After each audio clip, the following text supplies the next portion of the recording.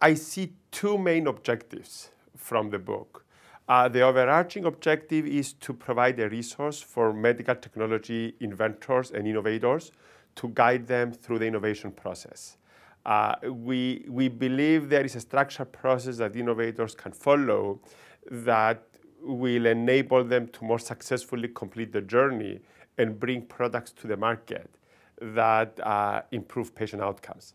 And what we hope to achieve with the book is that it, it becomes the resource to help innovators and entrepreneurs in the medical technology space in their journey.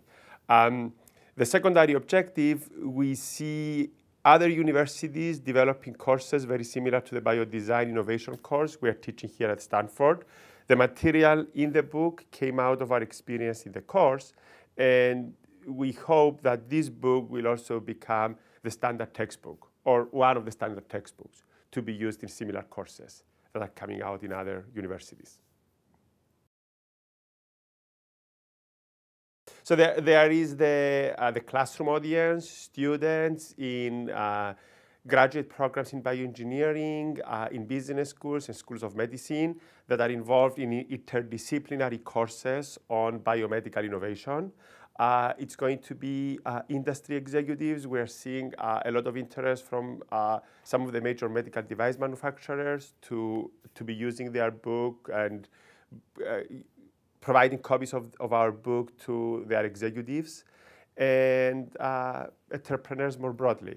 So the, but primarily there is a dual audience here. There is the university audience, courses, instructors, and there is the trade audience, medical device, medical technology, both large companies and small startups. Uh, the course.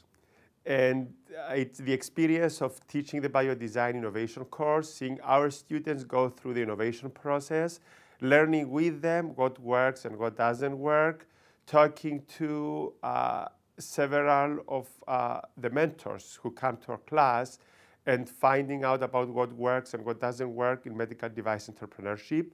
When we started teaching the course, there were no real teaching material we could use. And as we started developing some teaching material, testing them in the classroom, seeing how the students reacted to them, that inspired us to become more systematic in our course development, develop more organized material. And as we were using this in the classroom, getting feedback back, back from the students, and following this iterative process to reach eventually uh, a set of material that worked really well in the classroom. And it, it, was ready to be put together into a book.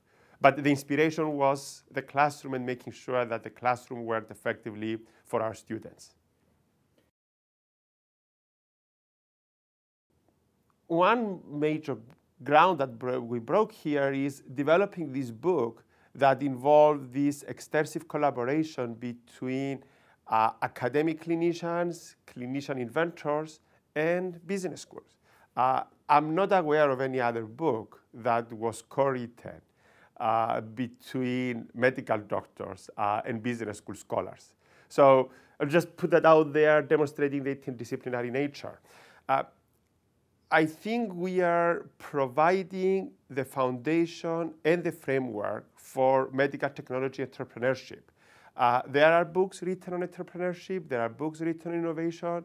I think this is probably the first book that is written specifically on medical technology entrepreneurship, how to do it, how it works, what are the steps in the process, and how to go through the steps in the process. So uh, I don't know if I could make the claim that we are defining a field, but if we would be defining a field with this book, is the field of medical technology entrepreneurship and providing the basic resources, the basic frameworks that underlie successful entrepreneurial activity in that space.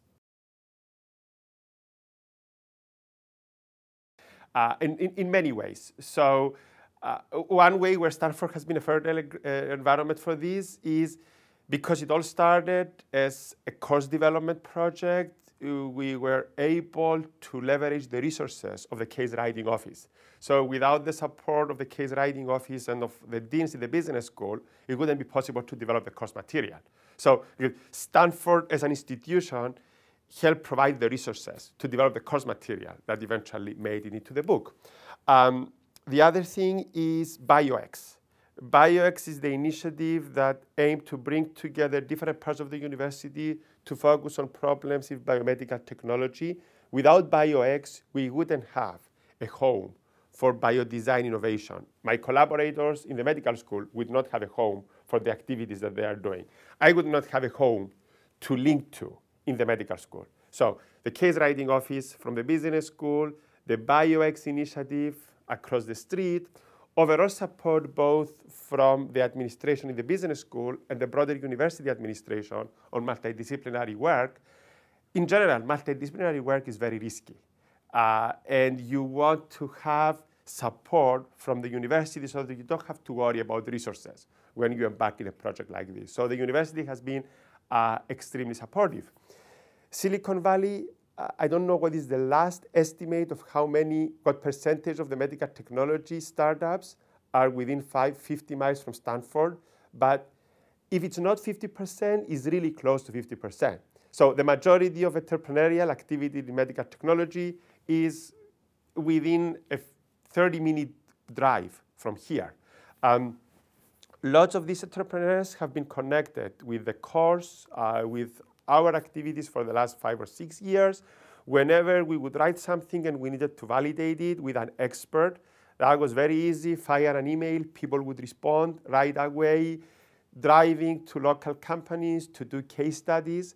We have about 40 or 50 case studies. We didn't need to travel for any of these case studies.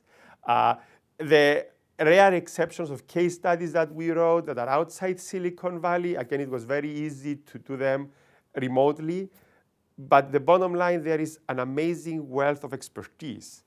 In Silicon Valley, a lot of that connected to the university because many of the medical technology companies that we are featured in the book are companies that started from technology that was developed from the university.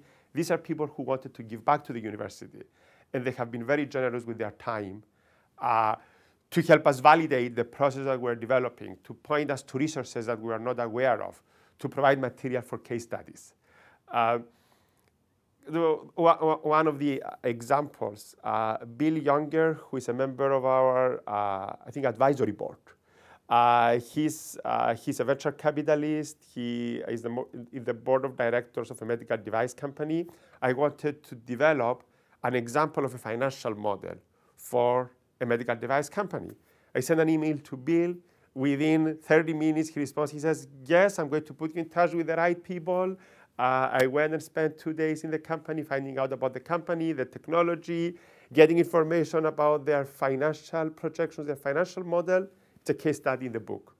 It took uh, a brief introduction at one meeting and a 30-minute interaction in an email to make that happen.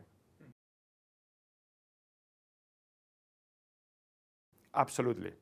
And the, the book started as very US-centric, but actually the course material started as very US-centric, but as we're going through that, we started gaining experience from markets outside the US, and those markets are becoming significant, increasingly more important.